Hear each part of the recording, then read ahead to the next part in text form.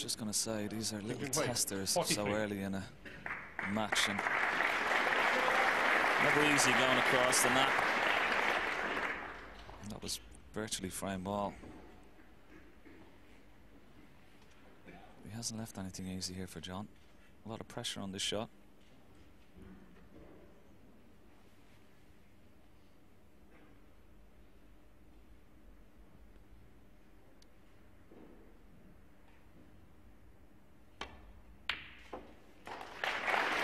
One. Excellent shot.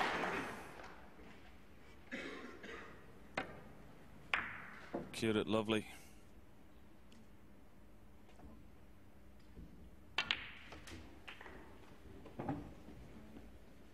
Now the only difficulty for John here, these two reds will go into this bottom right hand Eight. corner pocket.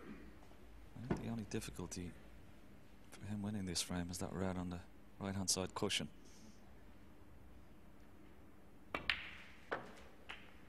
Nine.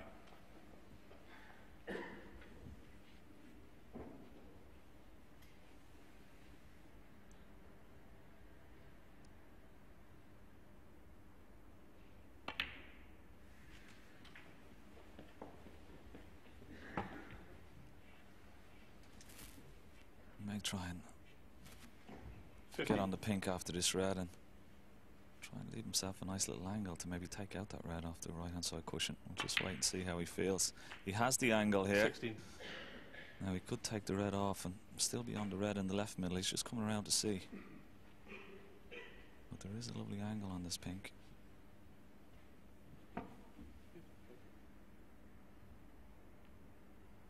It's worth the risk. Oh, he's just missed it.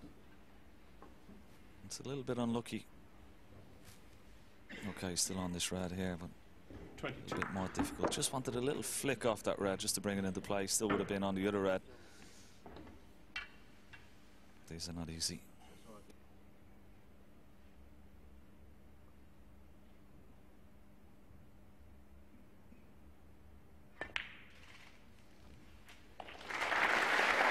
Twenty-three. That's a good recovery. A lot of people would have been so disappointed there missing the cannon because it was a relatively easy cannon for somebody of John's class.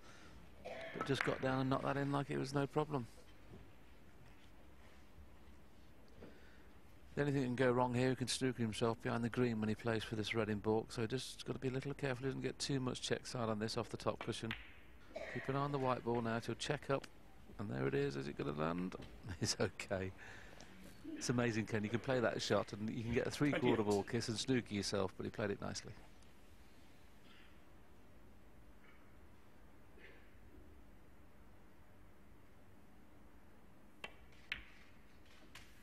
Twenty-nine. Yes, he had a lovely angle on that red, but he may have just overrun it slightly. I'm not quite sure whether he can force an angle on the blue here to try and get behind this red. If not, he'll have to play it like he played the previous one with with the rest. Well, tried to bounce behind it, and I think he's cut it too much, and that's the end of the break. Unless he plays the double, Thirty-four. the double is on, but very, very dangerous. Yeah, the slow double's not too bad actually, because he can play around the back of the black. And with the red being where it is near the cue ball, he's just looking now if he plays around it. Even if the red stopped right on the pocket, he could almost cover it with the other red. I think there's a bit of value in this double. Not usually you'd say that about a double.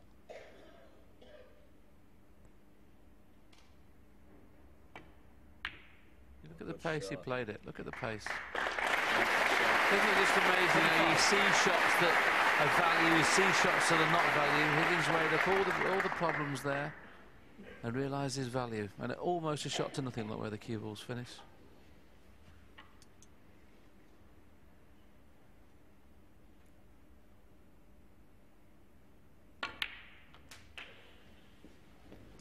First 42 points have been hard work. It's getting even harder now. You can see the grimace on his face there, overscrewed that by some 18 inches, and this is a frame winner or a frame loser in one shot. Yes, and the fact that it's into a blind pocket, he's going to refuse it into this bottom left-hand corner. He's going to play it as a shot to nothing. Into the bottom right with the brown over the green pocket. It's there. Great shot. Fantastic shot. Forty-three. Just look at the cue ball had he had missed it. And this would be a brilliant clearance from Higgins. Well, you talk about centuries being great breaks. This break has been as good as any century you're going to see. This has been a fabulous break. 47. He's now obviously strong favourite to win it, and uh, how he's cleared up from here, oh, goodness only knows. 49. Well, it started off a little bit slow in the first round, Willie, but it certainly has revved up since then. Good break from Ding in the first. This has been top quality in second. Never at any stage did it look like a possible clearance, though, Ken, did it? At this until the, the last couple of minutes.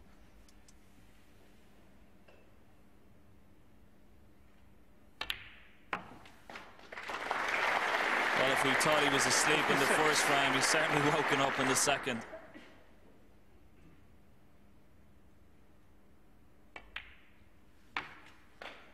Well, for me, this has been one of the best breaks of the tournament.